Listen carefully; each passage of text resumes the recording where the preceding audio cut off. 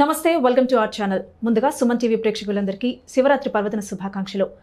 శివరాత్రి గురించి మనకు తెలియని చాలా విషయాల్ని మనకు వివరించడానికి ఇవాళ మనతో పాటు ఉన్నారు ఓం భారత్ శక్తిపీఠం అధిపతి శ్రీ గురూజీ భారతానంద మహారాజ్. సో వారిని అడిగి మనకు తెలియని విషయాల్ని తెలుసుకుందాం. నమస్తే గురువుగారు నమస్తే అమ్మా. బాగున్నారా? బాగున్నానమ్మా. గురువుగారు చాలా మందికి తెలియని విషయం ఏమిటంటే అసలు శివరాత్రి మాఘ అమావాస్య రోజునే ఎందుకు జరుపుకుంటాం అనేది చాలా మందికి తెలియదు.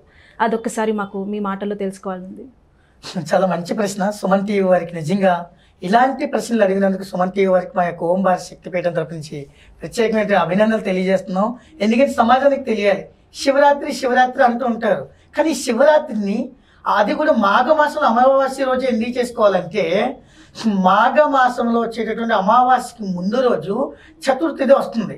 ఈ యొక్క చతుర్థి నాడు ఏమవుతుందంటే ఒక సంఘటన జరిగింది. ఆ సంఘటన ఏంటంటే ఇది షార్ట్కట్లో చెప్పడానికి ప్రయత్నం చేస్తున్న ప్రేక్షకులందరూ కూడా చాలా శ్రద్ధగా వినండి ఏదైతే దేవతలకి ఒక గురువు ఉంటారు రాక్షసులకు ఒక గురువు ఉంటారు. కానీ రాక్షసుల యొక్క గురువు తనకున్నటువంటి శక్తిని రాక్షసులందరికీ కూడా అమృతాన్ని చిలికి ఇచ్చే ఇచ్చేసేవాడు.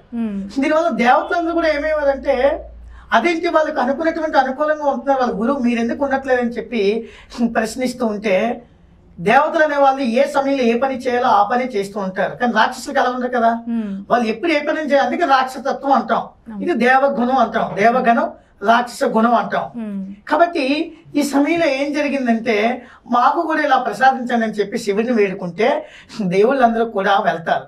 వెళ్ళి ఏం చెప్తారంటే అక్కడ వాళ్ళ యొక్క గురువుకి అక్కడ సముద్రంలో పాల సముద్రంలో ఒక కొండ ఉంటుంది ఆ కొండని మీరు కవ్వలా మార్చుకుంటే అక్కడ ఒక పాము కూడా ఉంటుంది ఆ పాముని మీరు తాడుగా అనుకుంటే దాన్ని చిలికారు అనుకోండి అమృతం వస్తుందా అంటారు.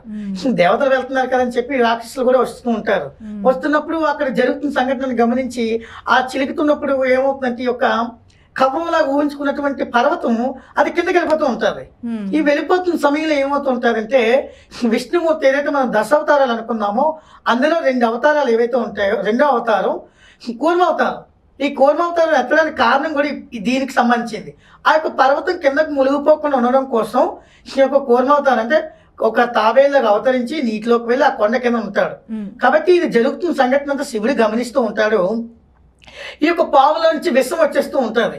ఈ విషం వస్తున్నప్పుడు ఏమవుతుంది దాన్ని అమృతం అనుకొని చెప్పి రాక్షసులందరూ కూడా తాగడం మొదలు పెడతారు. ఈ రాక్షసులు తాగుతుంటే ఇంకేమవుతుంది ఆ యొక్క విషం ఇట్లా భూమి మీదకి వచ్చేస్తుంది సముద్రంతో పాటు. అయితే చూడండి మనం కొన్ని పర్వతాలు ఉంటాయి వాటి లోపల నుంచి లావా ఎలా అయితే బయటకు వస్తున్నప్పుడు ఒక అగ్నిలాగా అదంతా కూడా ముట్టుకుపోవడం జరుగుతుంది. కొన్ని దేశాల్లో ఇప్పటికి కూడా జరుగుతుంది. మ్మ్. అలానే ఇక్కడ ఇటువంటి పాముల నుంచి వచ్చే అన్- అంత ఘోరంగా వస్తుంది. కాబట్టి ఇదంతా జరుగుతున్నటువంటి ఈ విషాన్ని ఎలాగైనా తప్పింది మళ్ళీ పరమశివుడిని వేడుకుంటారు. వేడుకుంటే పరమశివుడు వచ్చి ఆ యొక్క విషాన్ని తాగితే అందుకే శివుడిని కరల కంఠుడు అంటే అందుకే శివుడి యొక్క ఈ కంఠం లోపల నలుపు రంగులో నీలం రంగులో ఉండడానికి గల కారణం.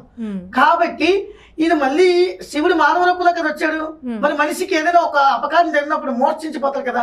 కాబట్టి శివుడు కూడా మూర్ఛించిపోయాడు అంటే నీరసించిపోతే అప్పుడు మళ్ళీ పార్వతీదేవి అంటది అయ్యా శివ నువ్వు దాన్ని ఆవాహన చేసుకోకు దాన్ని కంఠంలోనే ఉంచంటే ఉంచినా కూడా అయినా మూర్ఛించిపోతే అప్పుడు ఆ చుట్టూ ఉన్న దేవతలందరూ కూడా ఏం చేస్తారంటే ఈ సంఘటన అంతా కూడా ఎప్పుడు జరిగింది? అమావాస్య ముందు రోజు చతుర్థి దినాలు జరుగుతుంది. మరుసటి రోజు అమావాస్య ఆ రోజు నైట్ అలా ఏం చేస్తారంటే అప్పుడు శివుడు మళ్ళీ మామూలు స్థితికి రావాలంటే కొంతమంది జపం చేస్తారు కొంతమంది తపము కొంతమంది భజన కొంతమంది నామస్మరణ రకరకాల కొంతమంది అభిషేకము కొంతమంది పూజలు హోమాలు ఇవన్నీ చేస్తూ ఉంటారు. అందుచేతన ఆ రోజు అమావాస్య రోజు మాఘ పౌర్ణమి ఇది జరిగింది కాబట్టి అందుకే శివరాత్రి అని అంటే శివుడి యొక్క రాత్రి. పైగా ఆ రోజు వీళ్ళంతా రకరకాల భక్తిని చాటుకున్నారు కాబట్టి జాగారం అంటారు. అందుకే శివరాత్రి పూట జాగారం చెయ్యాలి. అలా చేసిన ఎవరిలో శివుడు మళ్ళీ ఏం చేశాడు? లొంగ లింగ ఉద్బోధన సమయంలో మళ్ళా శివుడు మళ్ళీ మామూలు స్థితికి వచ్చాడు. అందుకని చెప్పేసి ఆ రోజు శివరాత్రి అంటూ ఆ రోజు జాగారం కూడా ఈ విధంగా కానీ ఈవేళ జాగారాలు ఎలా తయారే వాళ్ళకి నచ్చిన రికార్డింగ్ డ్యాన్సులు నచ్చినటువంటి వ్యవహారాలు చేస్తున్నారు. అట్లాంటప్పుడు శివుడు ఎందుకు భక్తిని ఇస్తాడు ఇవ్వడు అది అసాధ్యం. కాబట్టి ఈ విధంగా అమావాస్య రోజు మాఘపూర్ణం చేయడానికి గల కారణం అదనమాట. అయితే గురువుగారు జాగరణ అని చెప్పారు. జాగరణ చేయాల్సిన విధి విధానాలు ఏమిటి? అంటే ఎలా చేయాలి జాగరణ చేసేటప్పుడు అండ్ ఆ జాగరం కూడా ఉపవాసంతో కూడిన జాగరణ చేయాలంటారు. ఆ రెండింటి విశిష్టత ఏమిటి? ప్రత్యేకంగా ఆ రోజునే ఎందుకు చేయాలి? చాలా మంచి ప్రశ్న అడిగారు. అసలు జాగరణ అంటే ఏదో ఒక భక్తిపరమైనటువంటి జాగరణ చేయాలి. జ భజన కానీ జపము కానీ ధ్యానము కానీ లేదు అనుకుంటే శివలింగం మీద నిత్యము శివుడు మూడే మూడు అడుగుతాడండి. ఏంటి? ఫలము పత్రము జలము ఇవి మాత్రం అడుగుతూ ఉంటారు. ఇంక దాన్ని మించి ఏం అడగరు ఇంకా. అవసరమైతే పుష్పం వేయమంటారు. కానీ ఇవి తప్ప ఇంకా వేరే ఏం చేయకూడదు. ఇంకోటి ముఖ్యమైనది ఏంటి ఉపవాసం. ఈ యొక్క ఉపవాసం ఎలా చేయాలి? మూడు పూట్లు మనం ఏవి తీసుకోకూడదు ఏవి తాగకూడదు. ఒక మంచి నీళ్ళు మాత్రమే తాగాలి. లేదు ఇంకా బాగా నీరసించిపోతున్నాం. అట్లాంటప్పుడు ఆ నీళ్ళల్లో నిమ్మకాయ పిండి తేనెని పిండుకొని ఆ మిశ్రమాన్ని కలిపిన తర్వాత దాన్ని మళ్ళీ వడగేయాలి. ఎందుకని? ఆ యొక్క నిమ్మకాయ యొక్క పిప్పి మళ్ళీ కడుపులో వాళ్ళకి వెళ్తుంది. కాబట్టి ఇది ఏమవుతుంది? ఇలా తాగడం వల్ల మనలో ఎనర్జీ అనేది పెంచుతుంది. కాబట్టి ఉపవాసం ఏ రోజుల్లో చేయాలని మన విషయానికి వస్తే ఏడు రోజులు కలిపితే ఒక వారం అవుతుంది అలాంటి రెండు వారాలు ఒక పక్షం అవుతుంది రెండు పక్షాలు కలిపితే ఒక మాసం అవుతుంది. అంటే మాసానికి ముప్పై రోజులు వస్తుంది. పక్షానికి పదిహేను రోజులు వస్తుంది. కాబట్టి ఒక మాసంలో ముఖ్యమైనటువంటి దినాలు ఏవైతే ఉంటాయో అమావాస్య పౌర్ణమి రెండు ఏకాదశులు. పౌర్ణానికి ఒక ఏకాదశి వస్తుంది అమావాస్యకి ఒక ఏకాదశి వస్తుంది. ఈ రోజుల్లో మనం ఎందుకు ఉపవాసం చేయాలంటే ఇక్కడ కూడా సైన్స్ ఉమ్, ఏంటంటే చూడండి అమావాస్య రోజు నాడు ఎక్కడైతే బా బావులు కానీ నదులు కానీ సముద్రాలు సరస్సులు ఇక్కడ ఎక్కడైతే నీరు ఉంటుందో అక్కడ నీరు ఎక్కువ అవుతుంది. కాబట్టి గమనించండి మీరు వెళ్ళి. అలాగే మన శరీరంలో కూడా రక్తం అనేది ఒక ద్రవ పదార్థం కదా.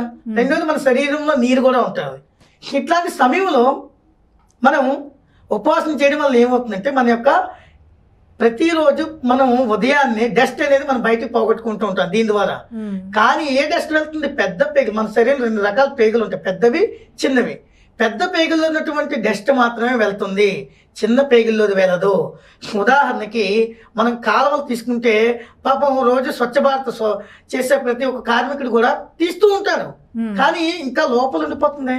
మరి లోపలికి వెళ్ళి కార్మికుడు చేయాలంటే శ్వాస ఆడక ఏదో అయిపోతూ ఉంటారు. కాబట్టి అందుచేతన ఈ యొక్క వర్షం పడేటప్పుడు మొత్తం అంతా కూడా అది కొట్టుకుపోతుంది. అలాగే మనం ఉపవాసం చేసినప్పుడు జీర్ణాశయానికి ఎటువంటి దానికి పని చెప్పము. రెండోది ఆ లోపల ఉన్న నీరు కూడా పొంగుతుంది. మూడోది మనం తీసుకునేటువంటి వాటర్ ద్వారా ఆ లోపల ఉన్న డస్ట్ చిన్న పేగి లోపల మొత్తం అంతా కొట్టుకొచ్చేస్తుంది.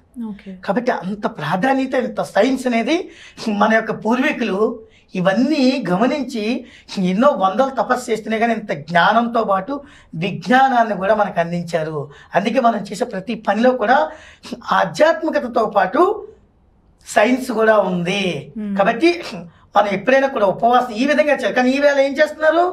చాలా మంది ఏంటి గుడికి వెళ్ళినంత వరకు ఈ మధ్య వరకు ఉంటున్నారు. గుడికి వెళ్ళి దండం పెట్టుకుని వచ్చి మళ్ళీ తినేస్తున్నారు. అప్పుడు ఏమవుతుంది మన శరీరానికి మనమే రోగాలు తెచ్చుకుంటాం ఏంటి? గ్యాస్ట్రిక్.